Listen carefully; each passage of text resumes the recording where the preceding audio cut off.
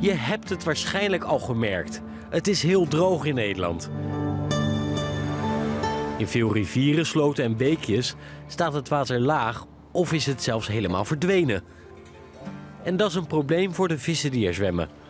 Op verschillende plekken komen mensen daarom in actie. Kijk, mooi zilt.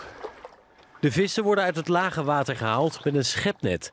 En niet zomaar één, een elektrische. Ja, daar zend ik eigenlijk een kleine stroompuls mee onder water uit. En eh, vissen die raken daarvan ja, lichtelijk verdoofd. En dan kan ik ze makkelijk opscheppen. Eh, dit is belangrijk omdat dit water binnen twee weken ongeveer droog gaat vallen. De schok is trouwens niet gevaarlijk voor de dieren. De vrijwilligers hebben op deze manier al duizenden vissen gered. Ook hier in Harreveld worden de elektrische schepnetten gebruikt om vissen uit het water te halen. En dat is hard nodig. Een paar dagen terug stond het water nog tot hier, dus het gaat heel hard. Ik denk dat het morgen eh, opgedroogd is. De dieren worden opgevangen in grote bakken, waar ze bij kunnen komen van de schrik.